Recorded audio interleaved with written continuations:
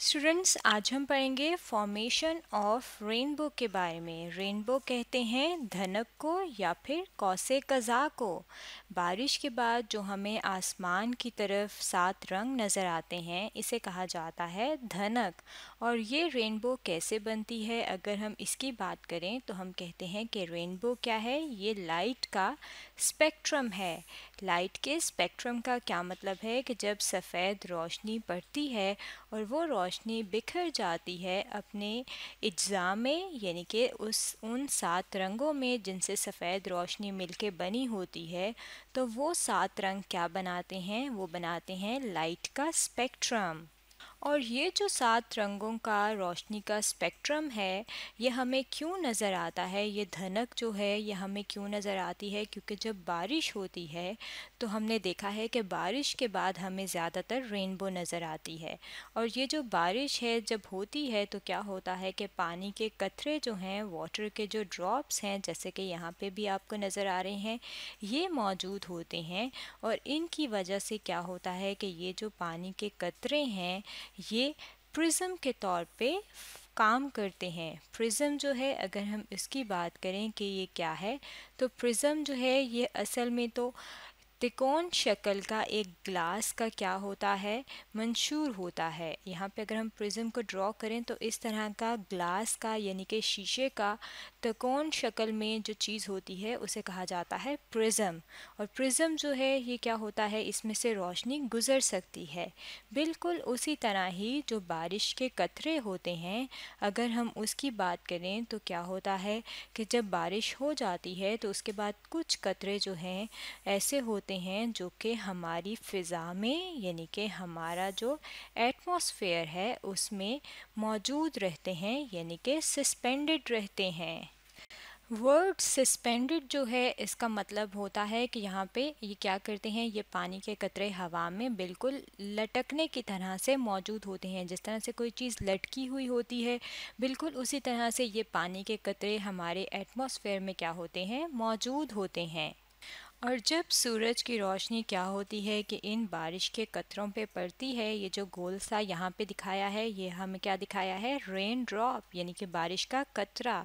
अब सूरज की रोशनी जब इस कतरे पे पड़ती है तो क्या होता है कि ये रोशनी इसके जो है ये बिखर जाती है और बिखरने के बाद ये क्या करती है, जो इसके सात रंग हैं, जिससे ये सफ़ेद रोशनी मिलके बनी होती है, उसमें ये तकसीम हो जाती है। और ये जो स्प्लिटिंग है, इसी की वजह से हमें क्या चीज़ नज़र आती है? इसी की वजह से हमें नज़र आती है कौसे कज़ा या फिर धनक, जिसे हम कहते हैं रेनबो इसका मतलब है कि हम रेनबो के बारे में अगर हम इसकी डेफिनेशन करें, यानी कि डेफिनेशन का मतलब है कि हम इसका तारुफ करें तो हम कह सकते हैं कि ये सात रंगों की एक पट्टी होती है जो कि बारिश के बाद हमें आसमान पे नज़र आती है और आसमान पे क्यों नज़र आती है? क्योंकि सूरज की रोशनी जो है वो इन बारिश के कतरों की वजह से डिस्पर्स हो जाती है, यानी कि बिखर जाती है। तो हम कह सकते हैं कि बिखरने के बाद हमें क्या नज़र आती है? रोशनी के बिखरने के बाद हमें नज़र आते हैं सेवन कलर्स यानी कि सात रंग। और ज़्यादातर अगर हम बात करें तो हमने देखा है कि ये रेनबो जो है हमेशा हमें नज़र आती है बारिश के बाद जब सूरज जो है वो चमक रहा होता है, यानी कि जब सन शाइन कर रहा होता है। अगर बारिश हो रही हो, लेकिन सूरज जो है वो चमके नहीं, यानी कि सन शाइन ना कर रहा हो तो उस वक्त हमें रेनबो नज़र नहीं आती।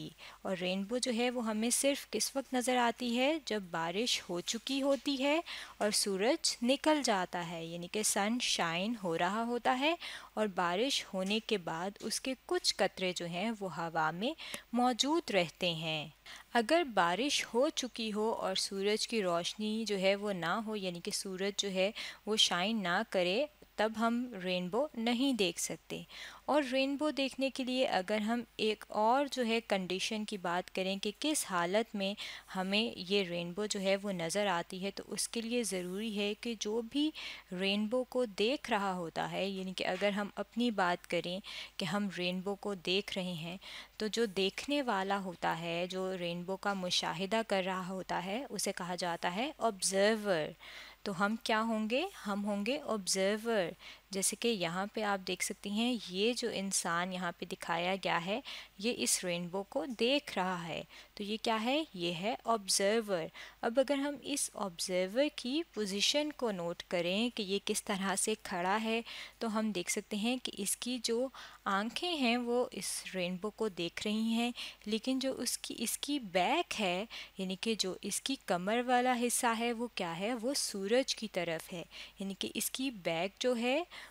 वो सन की तरफ़ है। तो ये जो पोजीशन होती है, जिसमें जो ऑब्जर्वर होता है, वो उस तरह, इस तरह से खड़ा होता है कि इसकी जो बैक होती है, वो सूरज की तरफ़ होती है।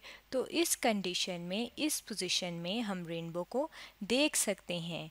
और रेनबो को हम क्यों देखते हैं? क्योंकि पानी के कतरे जो हैं, वो हवा में मौजूद होते हैं। और जब वो हवा में मौजूद होते हैं और सूरज की रोशनी उन पर पड़ती है तो वो सूरज की रोशनी बिखर जाती है अपने सात रंगों में। और वही सात रंग जब बिखर के हमें आसमान पे नज़र आते हैं तो वो क्या बनाते हैं? वो बनाते हैं रेनबो यानी कि कौसे कज़ा या फिर धनक। तो स्टूडेंट्स आज हमने स्टडी किया है फॉर्मेशन ऑफ़ रेनबो के बारे में।